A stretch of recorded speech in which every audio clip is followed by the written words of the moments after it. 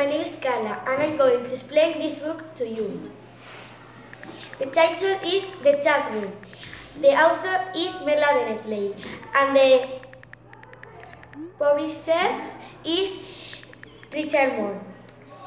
I like the character of Alex because he's the, is the most character and this book uh, is about that Alex cannot play in her tennis team because not study and uh, she knows a chat and chatting with other persons